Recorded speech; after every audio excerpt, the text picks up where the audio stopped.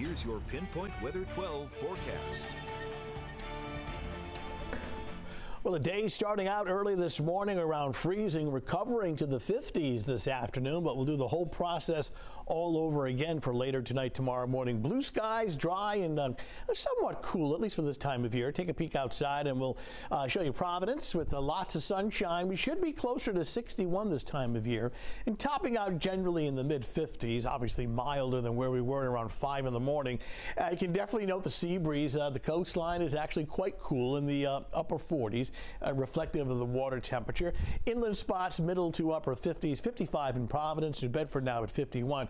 So the freezing temperatures return overnight, very late tonight and towards uh, daybreak on Friday. The, the coldest uh, window would be from roughly 4 in the morning until about 7 a.m. Despite that, still some nice weather coming up both Friday and Saturday in terms of sunshine. A little milder tomorrow afternoon and then even milder by Saturday. Temperatures topping out in the lower 60s. Still going with a chance for a spot or a passing shower on Sunday. Right now, the theme is that it's not a washout and that most of the day is um, dry. Certainly no big storms on the horizon. And once again, with these freezing temperatures, uh, the concern with, with plants and agriculture, lo- agriculture, uh, local farmers watching the fruit trees and things like that. Temps overnight down in the upper 20s to uh, lower 30s. In the meantime, skies are clear and dry.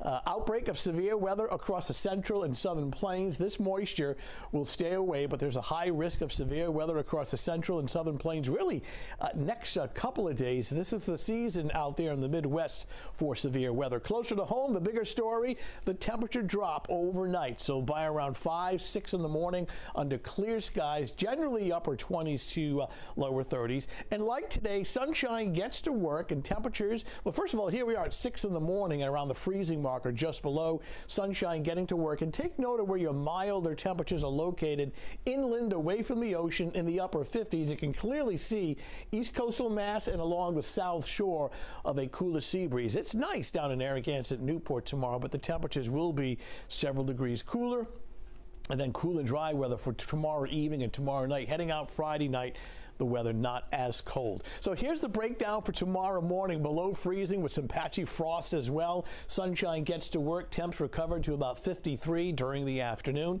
and several degrees milder tomorrow afternoon compared to today in the upper 50s, maybe briefly near 60. But again, subtract about 7 or 8 degrees along the south shore with that cooler sea breeze. That's reflected in the bay forecast right there south in the afternoon at 5 to 10 knots with unlimited visibility. Seven day forecast, sunshine sunshine, milder, nice on Saturday. Chance of a spotty passing shower on Sunday, not a washout. With warmer weather by Monday, temperatures approaching 70. Kayla and Mike.